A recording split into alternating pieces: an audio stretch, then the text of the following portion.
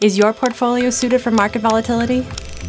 You should think about spreading your investments across different asset types, sectors, and geographies. And Saxo just lowered its prices, so now you can diversify at a lower cost.